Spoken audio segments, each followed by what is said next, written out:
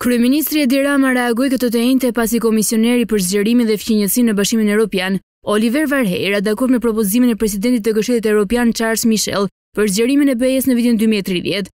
Në një mesazh në Facebook, Rama theksoi se autobuzi i BE-së po bëhet vend interesant për të qëndruar. Komisioneri ynë që nuk e zhgënjeu kurrë rajonin tonë veçanërisht në kohë të vështira. Duhet pranuar se pas fjalimit të papritur të Presidentit Michel në Forumin Strategjik të Bled, autobuzi i ngadaltë i BE-së po bëhet një vend interesant për të qëndruar dhe pa një vend të lirë, padyshim që pasagjerët e Ballkanit Perëndimor mund të durojnë më mirë kohëzgjatjen e gjatë të udhëtimit Ndërsa ndjekin një bisedë me zë të lartë mes djemve të ulur. Ndërkohë më herët, Varhej ka thënë se përshëndet çdo vendim që merr Këshilli. E mirëpres që Këshilli dëshiron të angazhohet më në fund dhe të bëjë një hap të madh për të realizuar zgjerimin. Komisioni Evropian ka qenë gjithmonë i gatshëm të bëjë çdo propozim që do të na çonte drejt zgjerimit të vitit dy mijë e tridhjetë.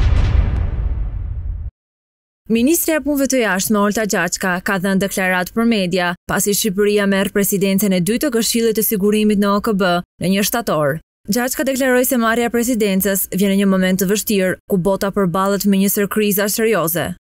Kjo presidencë shqiptare e Këshillit të Sigurimit vjen në një moment vërtet të vështirë, kur bota përballet me një sërë krizash dhe konfliktesh shumë serioze, Që nga Ukraina e deri te kriza e pasigurisë së ushqimit si pasojë e luftës në Ukrainë dhe politikave që po ndjek Rusia, që nga Jemeni, Sudani e Lindja e Mesme në tërësi dhe deri te kriza dhe pasiguria që mbizotëron sot në Sahel.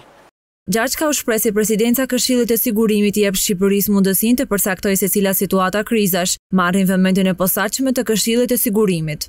Mbajtja e presidencës së Këshillit të Sigurimit i jep vendit tonë mundësinë që të përcaktojë në një masë të madhe, sigurisht në konsultim të ngushtë me aleatët dhe partnerët, se cila do të jetë axhenda e Këshillit për muajin e shtatorit, se cilat janë ato çështje që do të marrin vëmendjen e Këshillit, cilat janë ato situata që do të përfitojnë nga angazhimi i Këshillit të Sigurimit. Paralajmërimi i presidentit francez për mundësinë e pezullimit të liberalizimit të vizave për Kosovën ka rritur shqetësimet për ashpërsimin e masave ndëshkuese të BE-së ndaj Kosovës, në kohën kur institucionet e Kosovës po presin që BE-ja t'i heqë masat aktuale ndëshkuese ndaj Kosovës. Njohësit e proceseve integruese kanë bërë me dije se Kosova mund të ballafaqohet me masa të tjera. Ish-ministri i Integrimeve Europiane, Bekim Çollaku, ka ftuar Qeverinë e Kosovës që të reflektojë ndaj shqetësimeve të BE-së. Në një intervistë të dhënë Gazetës Nacionale, Çollaku ka thënë se Kosova rrezikon të ballafaqohet me ndëshkime shtesë. Për aq kohë sa nuk përmbushen tërësisht kërkesat e BE-së, sanksionet do të mbesin në fuqi dhe rrezikon që të ballafaqohemi edhe me ndëshkime shtesë. Kryeministri Kurti është i vetëdijshëm se ka pranuar një marrëveshje të keqe për Kosovën, Dhe në këmbim të saj, Kosova nuk ka përfituar asgjë, ka thënë ai, duke treguar se përse kryeministri Kurti nuk po i respekton marrëveshjet, si rrjedhojë kthimi në normalitet, zbatimi i marrëveshjes së arritur, nuk përkon fare me interesin personal dhe të partisë që udhëheq kryeministri Kurti. Asoacioni dhe autonomia e zgjeruar për serbët, e cila është në thelb të marrëveshjes Kurti-Vuçiç, është ankthi konstant për Kurtin dhe partinë e tij, ka theksuar ai. Ai ka bërë me dije se qasja e Kosovës po irriton vendet e BE-së. Më parë e vras Albin Kurtin sesa ia lëshoj rrugën për të ikur nga Kosova, kishte deklaruar kryetari i OVL-së, Faton Klinaku. Madje ai as nuk u tërhoq nga kjo deklaratë skandaloze. Ndaj Klinakut tashmë ka filluar dhe hetimet nga prokuroria. Profesori Enver Bytyçi përmes një shkrimi ka thënë se këtë seri të kërcënimeve e nisën serbët dhe po e vazhdojnë shqiptarët. Sipas tij drejtësia duhet të veprojë, ta mbrojë Albin Kurtin prej politikanëve hajdutë. Jo vetëm Klinaku e Lushtaku bënë thirrje për dhunë e vrasje, Madje kundër kryeministrit të Kosovës, serinë e kërcënimeve që nisën zyrtarët serbë po e vazhdojnë edhe njerëz të tjerë në Kosovë. Jam shumë i brengosur, jo për fatin e zotit Kurti, sepse Kosova është shtet dhe shteti nuk lejon dhunë kundër autoriteteve të vendit, por për frymën e përçarjes, urrejtjes, hakmarrjes dhe mentalitetit të dhunës që po përhapet në Kosovë nga ana e Beogradit e strukturave të veta kudo dhe në Shqipëri. Sa herë që serbët dështojnë të realizojnë planet e tyre antishqiptare në forma të tjera, aq herë ata përdorin injorancën shqiptare deri në nxitjen e dhunës kundër njëri tjetrit. Kjo valë kërcënimesh në këto momente nuk është e koordinuar dhe e projektuar nga shërbimet sekrete serbe e ruse. Nis pikërisht ditën që Albin Kurti duartrokitet nga një samit i rëndësishëm europian kur ai foli me argumente dhe me vendosmëri e mençuri kundër Serbisë agresore e aleate të Rusisë. Deputeti i Kuvendit të Kosovës nga Lëvizja Vetëvendosje Enver Dugolli tha se Serbia është mentalitet e Millosheviqit dhe Putinit. Dhe sipas tij, ajo nuk ka ndërruar aspak sot e kësaj dite. Madje siç tha ai, Serbia me çdo kusht po mundohet të pengojë Kosovën në ecjen e saj përpara, ndërkaq rreth mundësisë së arritjes së një marrëveshje mes Serbisë dhe Kosovës, Dugolli tha se qeveria jonë po dëshiron të ecë përpara ndërsa Serbia ka qëllim stangimin. Deputeti Dugolli foli dhe për zgjedhjet që janë mbajtur në komunat në veri të vendit, e që sipas tij ato zgjedhje janë pranuar nga akterët relevantë. Po ashtu Dugolli duke folur për udhëzimin administrativ për iniciativën e qytetarëve për largimin e kryetarëve të komunave në veri të vendit, tha secili ka të drejtë të kontestojë këtë udhëzim dhe të dërgojë në organet kompetente. Por se ai konsideron se është e gabuar të kërkohet dorëheqja e kryetarëve në komunat në veriun e vendit. Është zgjedhje e gabuar t'i kërkohet një kryetari që të dorëhiqet sepse nuk është faji i tij që nuk kanë dalur në zgjedhje qytetarët në numër të konsiderueshëm, tha Dugolli. Nuredin Gashi përkrahës i kryetarit të OVL-UÇK-së, Faton Klinaku, ka bërë një deklaratë skandaloze duke shprehur se çdo person i cili kryen veprime sipas tij të këqija sikurse kryeministri i Kosovës Albin Kurti duhet të vritet. Në një lidhje direkte në Debat Plus, Gashi ka komentuar deklaratën e Faton Klinakut, ndërsa e quajti tradhtar Kurtin dhe subjektin politik të tij. E kam thënë dhe e them prapë, nuk e marr tragjike deklaratën e Faton Klinakut, sepse atdheu është më me vlerë sesa të gjitha. Konsideroj se çdo njeri i cili bën të këqija, siç bën Albin Kurti dhe po të isha në vendin e tij, duhet të vritet patjetër sepse është tradhëti ndaj atdheut, konsideroj se partia e Kurtit dhe stafi i vet janë tradhtarë të vendit, ka deklaruar ai. Klinaku është intervistuar të mërkurën nga Prokuria Speciale lidhur me deklaratën e tij për kryeministrin Kurti, i cili u vlerësua si kërcënim ndaj tij. Lajmin e ka konfirmuar vetë Klinaku duke bërë të ditur se ai është intervistuar në prani të avokatit të tij duke mos dashur të japë më shumë detaje. Klinaku ka ndarë dje në rrjetin social në Facebook një bisedë që ka pasur me një votues të Kurtit ku ndër të tjera ka thënë se më parë e vras Albin Kurtin se sa që ia lëshoj rrugën e iki nga Kosova. Kryeministri Edi Rama i akordon medaljen e mirënjohjes publike ish-kryeministrit Fatos Nano, i cili prej ditësh gjendet i shtruar në spital në gjendje jo të mirë shëndetësore. Rama shkruan se po lutet për shëndetin e liderit historik të Partisë Socialiste, teksa ndan dhe vlerësimet për të. Kjo medalje i jepet për kontributin e tij të shquar në politikën liberale në një kohë krize të politikës kombëtare.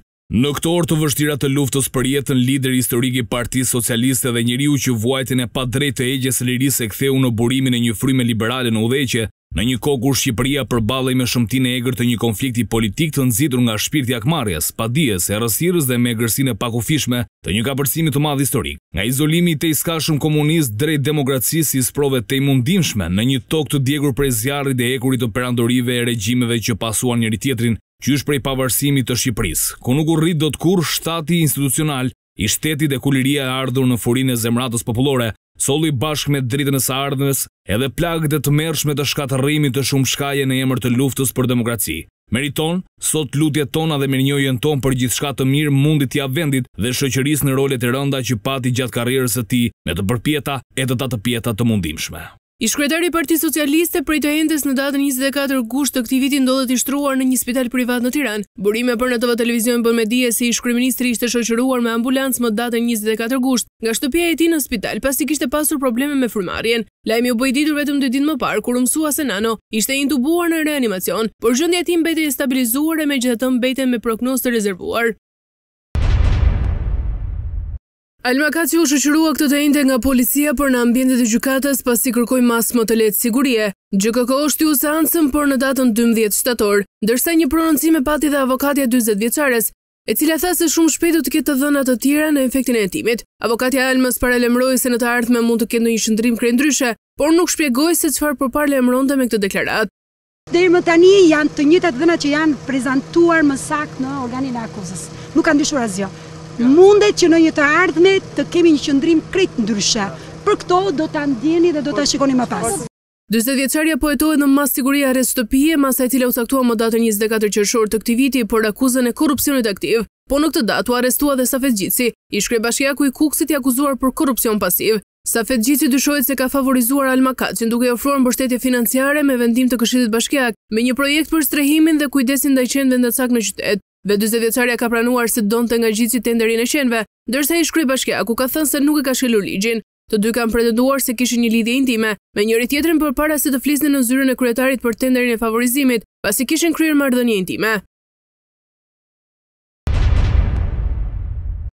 Vapa ikën me gushtin, pikërisht kjo shprehje mori kuptimin në dy ditët e fundit të këtij muaji në vendin tonë. Vetëm dy net më parë ministri i Mbrojtjes në vendin tonë Niko Peleshi njoftoi se emergjencat janë në gatishmëri për çdo përmbytje të mundshme teksa mbrëmjen e kaluar zonat bregdetare u goditën nga një stuhi e cila zgjati për afro dy orë duke shkaktuar përmbytje lokale si në rastin e Durrësit. Kjo duket se e mbyll edhe për këtë vit çadrën e turizmit. Megjithatë, pjesa e parë e ditës së sotme do të jetë e mbushur me kalime vranësirash, teksa në pjesën qendrore të vendit do të ketë edhe reshje shirash, por me intensitet të ulët. Ndërsa pjesa e ditës së dytë do të kthjellohet duke shkuar edhe në temperatura tridhjetë gradë. Por, përkeqësimet e motit nuk kanë prekur vetëm vendin tonë. Përtej oqeanit, SHBA-të po goditen nga uragani Idalia. ku katër shtete, Florida, Xhorxhia, Karolina e Veriut dhe ajo e Jugut po përballet me kushtet ekstreme të motit. Rajoni Big Bend në Florida u godit nga uragani i kategorisë së tretë, e cila ka detyruar miliona persona të evakuohen, teksa ka regjistruar dhe dy viktima. Idalia u shndërrua nga një stuhi tropikale në uragan të martën herët, një ditë pasi kaloi në perëndim të Kubës, ku dëmtoi shtëpi, shkaktoi ndërprerje të energjisë, përmbyti fshatra dhe nxiti evakuime masive. Ky ishte uragani i katërt i madh që goditi Floridën në shtatë vitet e fundit, pas uraganeve Irma në vitin dy mijë e shtatëmbëdhjetë, Michelle në dy mijë e tetëmbëdhjetën dhe Ian, i cili arriti kulmin në kategorinë pesë shtatorin e kaluar. Luhatje ekstreme të motit po shpërndahen gjithnjë e më shumë në vende të ndryshme në glob. Kujtojmë se vetëm pak ditë më parë Sllovenia përjetoi përmbytje masive. Çmimet e naftës po i afrohen nivelit 200 lekë për litër. Ditët e fundit çmimi në tregun vendas është rritur me 5 lekë për litër për të katërtën herë radhazi brenda pak javësh. Që nga 15 korriku kur filloi shtrenjtimi, nafta është rritur gjithsej me 21 lekë për litër, katër herë gjithsej, duke arritur në nivelin më të lartë që nga mesi i marsit të këtij viti. Operatorët e tregut pohojnë se tendenca është e lidhur me shtrenjtimin e karburantit në bursë, ku treguesi Platts që merret si referencë nga importuesit shqiptarë u mbyll të premten me nëntëqind e dyzet dollarë toni, që është niveli më i lartë që nga tetori i vitit të kaluar dhe tendenca duket për shtrenjtimin e mëtejshëm drejt një mijë dollarëve. Sipas Financial Times, çmimi i naftës në bursa arriti dje në tetëdhjetë e pesë pikë tre dollarë për shtatëdhjetë e katër dollarë që ishte në korrik. Operatorët e tregut pohojnë se krahas shtrenjtimit në bursa, një tjetër faktor që i mban çmimet e larta në vend është barra e lartë e taksave që rëndojnë mbi naftën, që arrin në mbi gjashtëdhjetë për qind të çmimeve. Diplomati serb Zoran Milivojevic ka deklaruar se presidenti francez Emmanuel Macron për herë të parë ka kërcënuar drejtpërdrejt Beogradin dhe Prishtinën, pa përmendur përgjegjësinë dhe obligimet e kësaj të fundit, si dhe marrëveshjet e mëparshme që nuk janë përmbushur. por ka shënjestruar pa anekse. Kujtojmë se Macron si një nga liderët më të fuqishëm europianë kërcënoi për herë të parë seriozisht dhe drejtpërdrejt se do të shqyrtojë siç tha ai kthimin e vizave nëse nuk fillon zbatimi i marrëveshjes së Ohrit dhe në të njëjtën kohë i qëndroi qëndrimit të tij të vjetër se Bashkimi Europian duhet së pari të reformohet para zgjerimit, por edhe se Europa duhet të funksionojë me shpejtësi të shumëfishta. Në vitin dy mijë e tetëmbëdhjetë, Macron ndaloi politikën e zgjerimit, sepse ai donte reforma të brendshme në BE së pari. Ky qëndrim është ende në fuqi sot, dhe padyshim skualifikon gjithçka që u tha në Bled të Sllovenisë, se BE-ja duhet të jetë gati të pranojë anëtarë të rinj në vitin dy mijë e tridhjetë, u shpreh Zoran Milivojevic, sipas të cilit me kërcënimin për pezullimin e vizave, Emmanuel Macron ngriti shkallën e ashpërsisë dhe seriozitetit të situatës, duke i parë edhe Serbinë edhe Kosovën njësoj përgjegjëse dhe këmbënguli në planin franko-gjerman me çdo kusht. Një gjë duket deri tani e sigurt, Fakti që Emmanuel Macron përmend sanksionet dhe kthimin e vizave dëshmon se Perëndimi është në telashe dhe se nervozizmi është rritur për të zgjidhur sa më parë çështjen e Kosovës.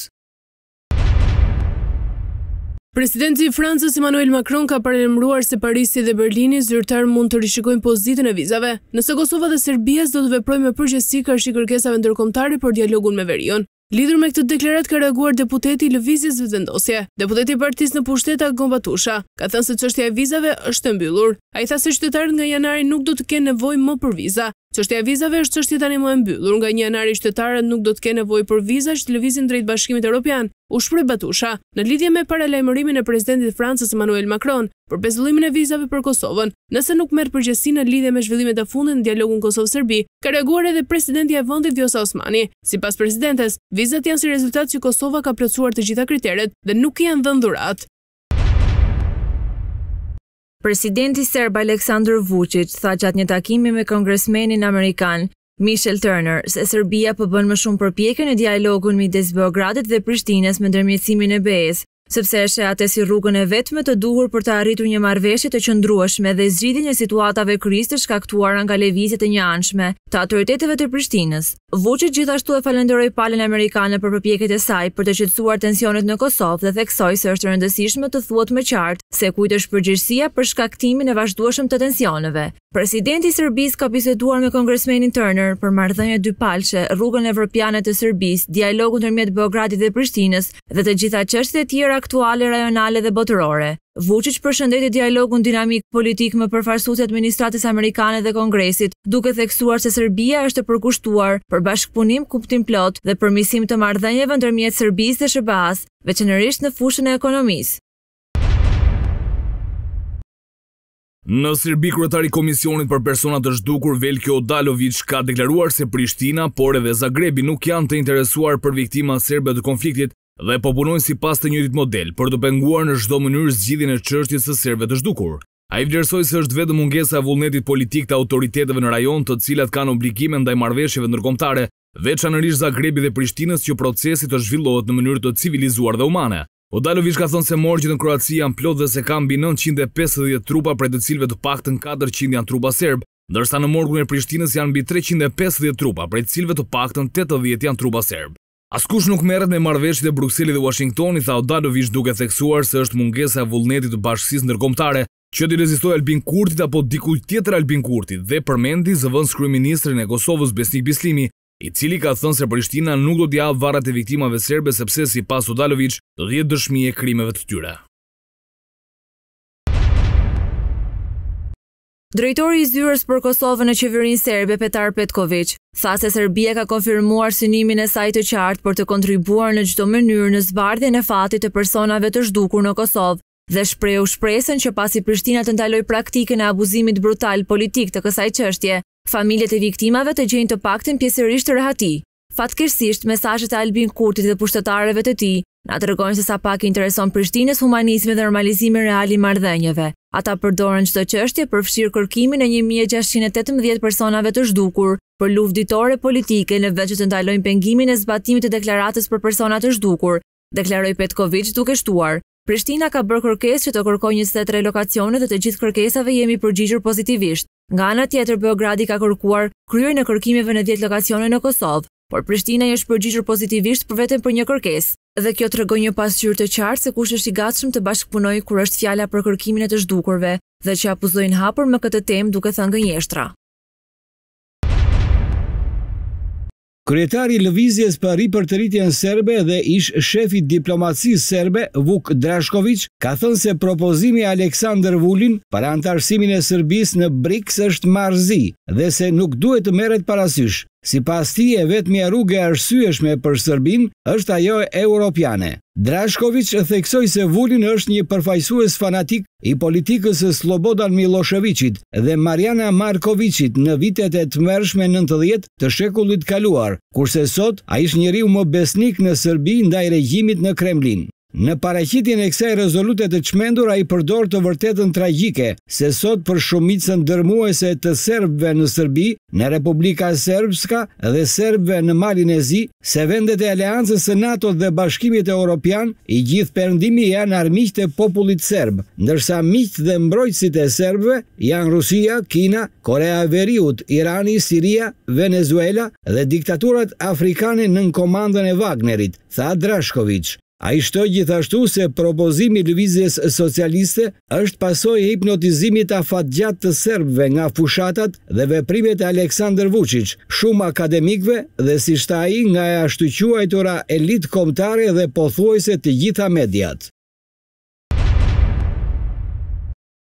Një dron që fluturonte në drejtim të Moskës është shkatërruar në periferi të qarkut Voskreseng në juglindje të rajonit të Moskës. Kryebashkiaku i Moskës, Sergej Sojubian, ka njoftuar se pas rrëzimit të dronit është konstatuar se nuk ka patur dëme apo të lënduar. Sipas rusëve, mbrojtja kundërajrore ka shkatërruar dronin që fluturonte në drejtim të Moskës. Ekipet e shpëtimit menjëherë kanë dalë në terren dhe kanë larguar mbeturinat e asaj që ka mbetur nga droni. Qytetarët e Moskës kanë dëgjuar një shpërthim të fuqishëm, kurse alarmet që paralajmërojnë qytetarët për ndonjë sulm të mundshëm nuk është aktivizuar fare. Kujtojmë që dje është kryer sulmi më i madh me dronë në Rusi, që nga fillimi i luftës në Ukrainë. Ishin fluturakët pa pilot që goditën në gjashtë rajone të Rusisë, që po konsiderohet si sulmi më i madh i koordinuar në këtë vend.